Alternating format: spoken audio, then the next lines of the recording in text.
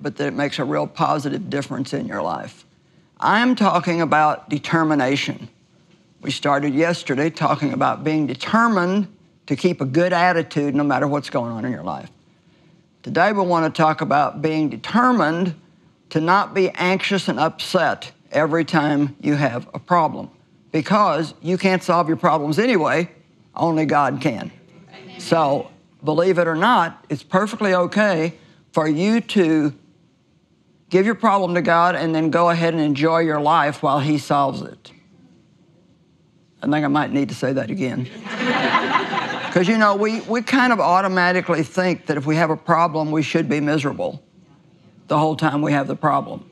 Or if you've got a kid that's not doing well in school or whatever, but you don't have to be miserable if you really believe that God is working on it and that He's going to solve it, then why not go ahead and be happy because the joy of the Lord is your strength. And we're in the business of making the devil mad, and he does not like it if you're happy. So the happier you are, the madder you make him. A couple of scriptures that use the word determination. And when I say determination, I want to repeat what I said yesterday. That doesn't mean just self will. We can't do anything apart from God. But it does mean that whatever the Word tells us to do, or whatever God asks us to do, we do need to be determined if we're going to do it because the enemy will work overtime trying to make sure that we don't. And so God wants us to be peaceful. Jesus said, John 14, 27, My peace I leave with you. Not as the world gives, do I give unto you, but my own special peace I give and bequeath unto you. So stop allowing yourselves to be upset and disturbed, and stop allowing yourselves to be fearful and intimidated. So God's done his part. I've given you peace. Now your part is stop allowing yourself to get upset. How many of you can feel upset coming from down in here somewhere? Yes. Well, the key is to stop it before it gets to your mouth. because once it gets there, then you only start magnifying the problem by then you have more to repent for. 1 Peter 5 8 and 9 says, Be well balanced, temperate, which means disciplined, sober of mind, be vigilant and cautious at all times.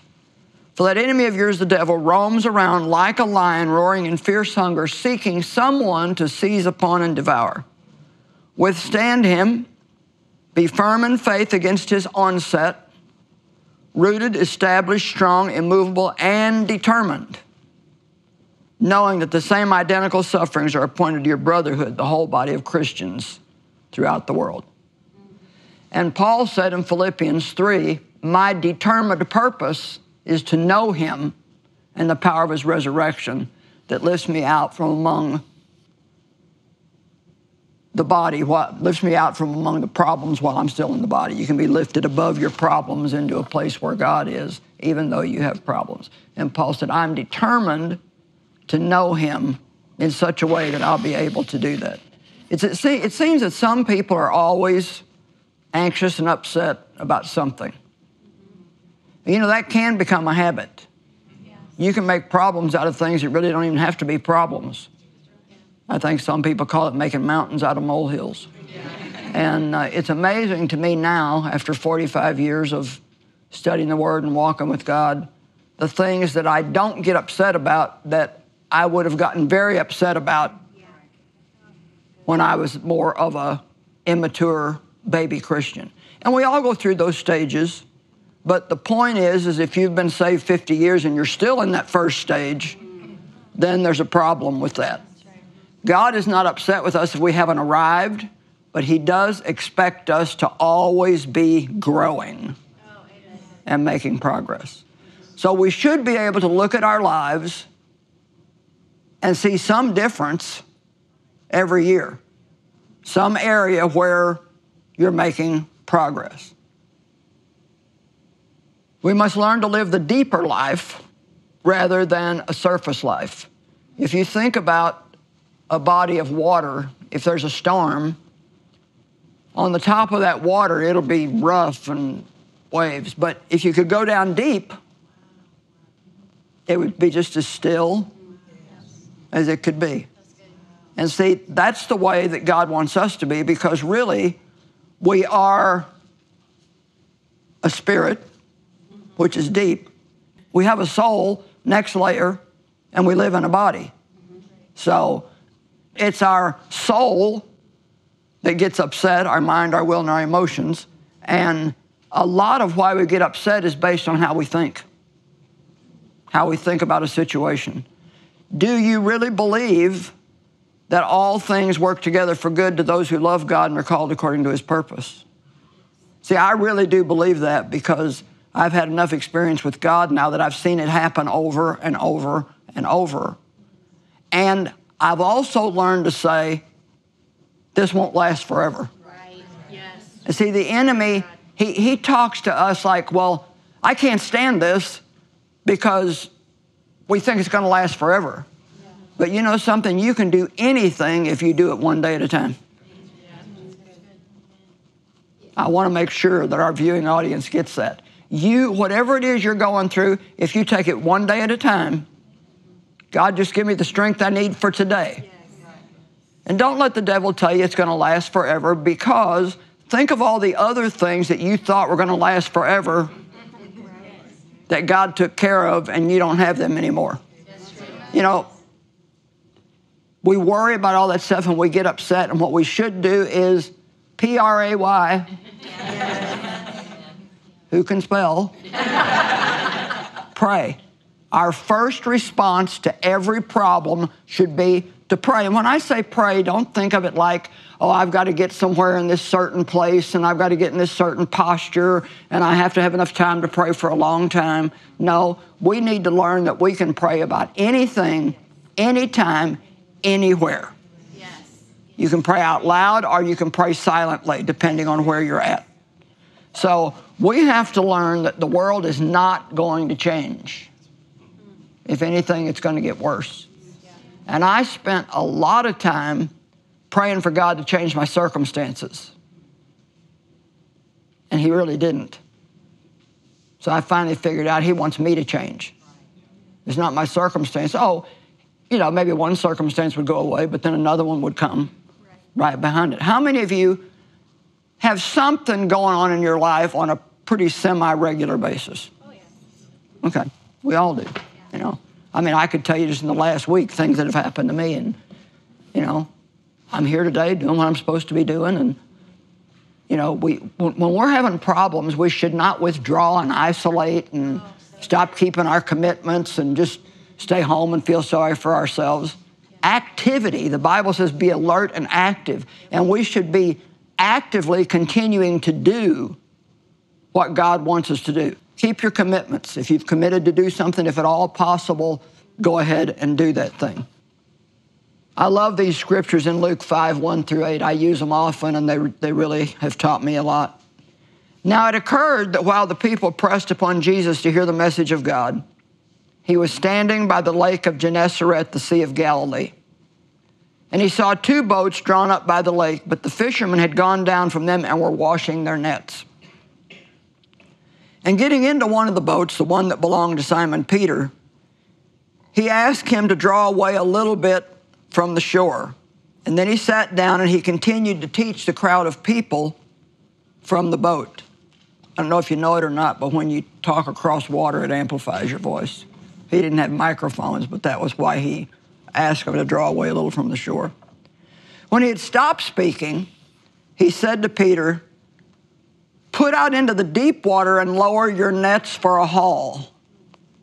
Now, listen to what Peter said Master, we toiled all night exhaustingly and we caught nothing in our nets. Now, just let's think about how they felt. No sleep, been up all night, fishing all night, catching nothing. How many of you know if you're fishing, so to speak, in life, or let's just say that you've been doing the right thing for a long time and you still haven't had a breakthrough?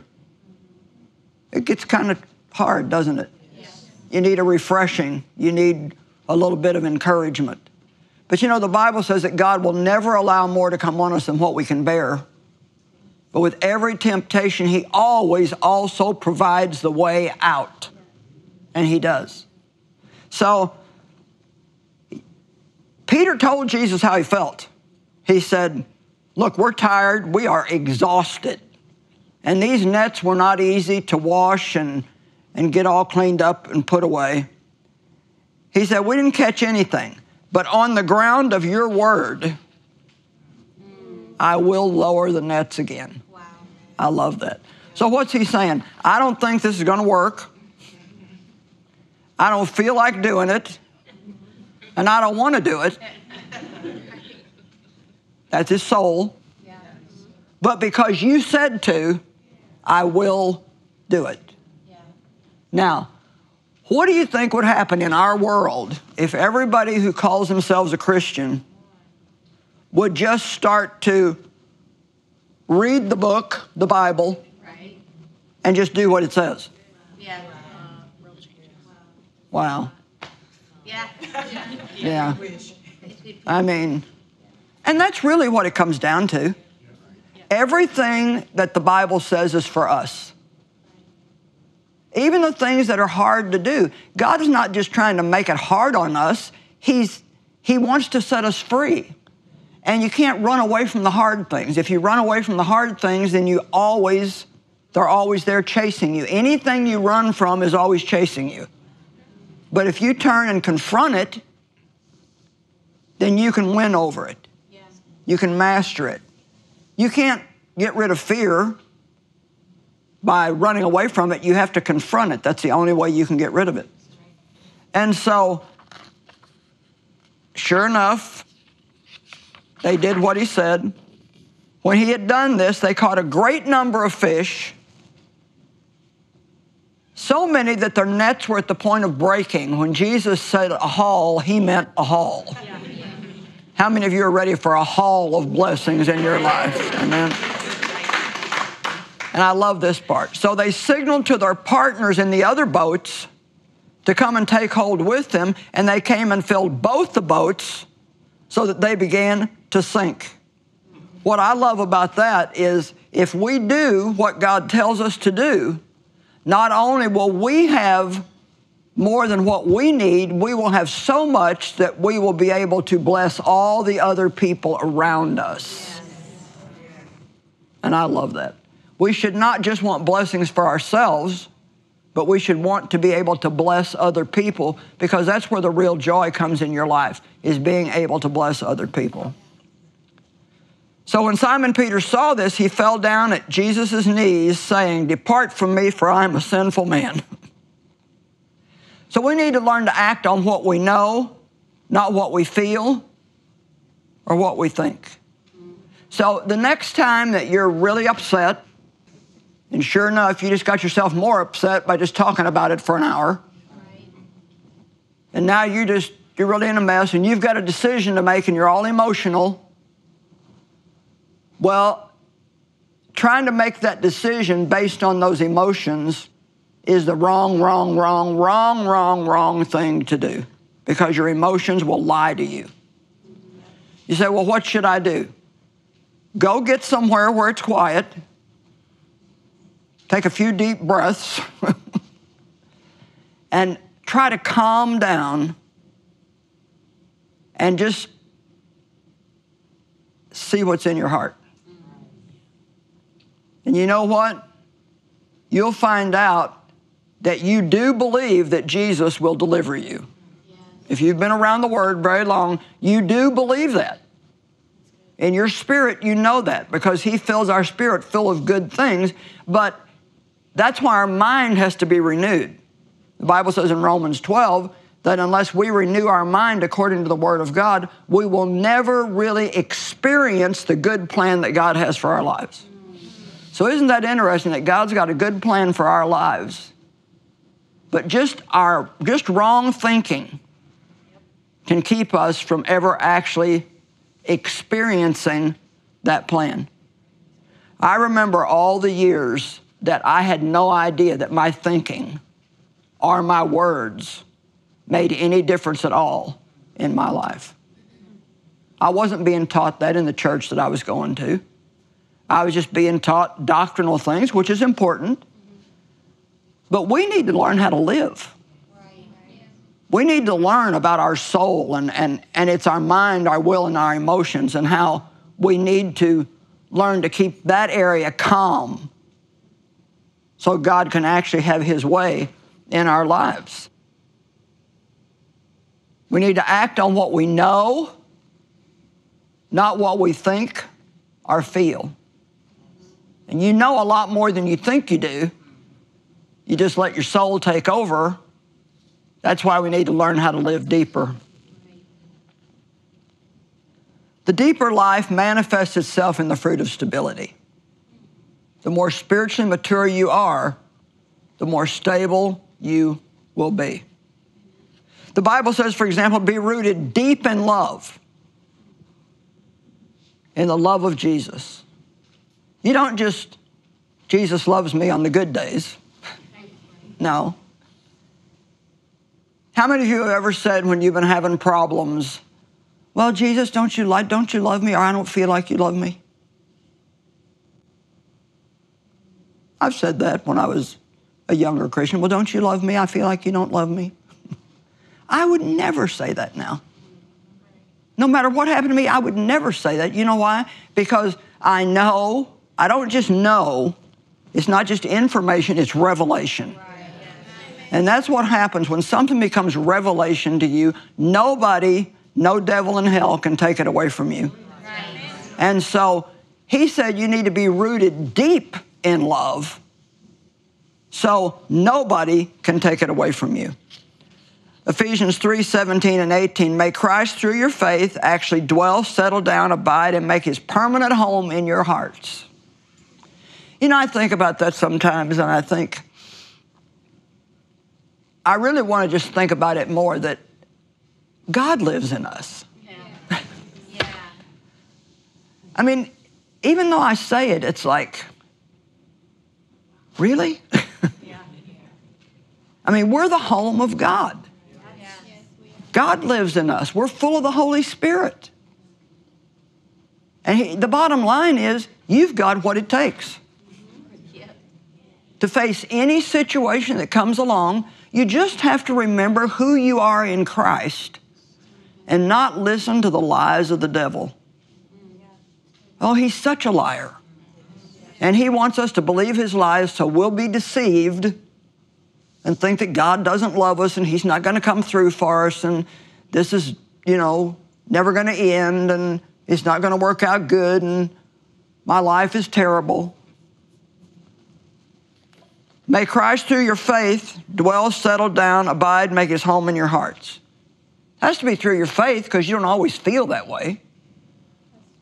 May you be rooted deep in love and founded securely on love. You see, how, how can you put your faith in God when you're having problems if you don't know that you know that you know that He loves you? And He loves you with a perfect love. And I'm going to tell you something today that we really need to realize. No matter how much more you improve in behavior, God is never going to love you any more than He does right now today. You say, well, then why should I keep trying to improve? because you love Him. You're not trying to buy God's love by having better behavior. He loved you while you were still yet in sin and sent His Son to die for you. He has a perfect love for us. We can't buy His love with our good behavior, but if you have something in your life that needs to change, trying, say patience, for example, trying to be patient, ain't gonna work. You ever try so hard to change, and the more you tried, the worse you acted? Man, I've had that. But you know what the Apostle Paul did too? He said, The thing I want to do, I can't do, and the thing I don't want to do, that's what I always end up doing. Yes. I said, Well, Paul, I relate to that. And then toward the end of chapter 7 in Romans, he said, Who will deliver me from this body of death? And then it says, Oh, exclamation mark. Thank God he will Exclamation mark. Who's going to deliver us? He will. So the thing to do is to fall more and more and more in love with Jesus. And so if you're going to work on something, work on your love relationship with Jesus. Tell him a hundred times a day how much you love him. Because Jesus said, if you love me, you will obey me. So I believe that the degree of our obedience lines up perfectly with the degree of our love for God. The more you love Him, the more you're going to want to do everything He wants you to do, and the more you're going to not want to displease Him. Be founded securely on love, that you may have the power and be strong to apprehend and grasp with all the saints, God's devoted people, the experience of that love. Do you know that we actually should experience God's love? And, and in uh, 1 John 4, it says that we should be conscious and aware of God's love. And that actually was, that scripture was very life changing for me because if you pay attention, you'll catch God loving you. Mm. That's good. I call them winks from God. Little things that He does for you that maybe would only mean something to you, but you know it's God showing you that He loves you. And I've also discovered, I believe very much, that God loves us through other people. Because God wants to work through us to edify and encourage and build other people up. You want a ministry? Be an encourager. People need to be encouraged. It's amazing sometimes when I'll, you know, give somebody a compliment and they say, You made my day. That's pretty amazing when you have the power to make somebody's day. Just by giving them a compliment. So start watching for God's love in your life.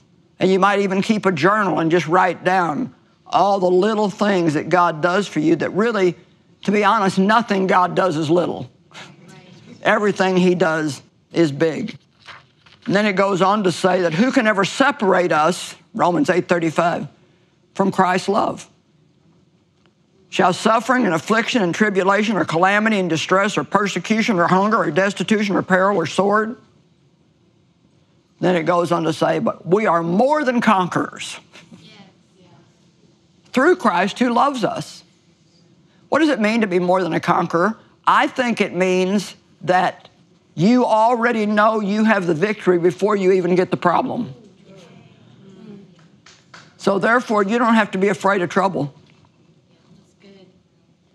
I can remember when I used to get the first hints of trouble, I'd be like, oh no. I was afraid of trouble. Oh no, not again.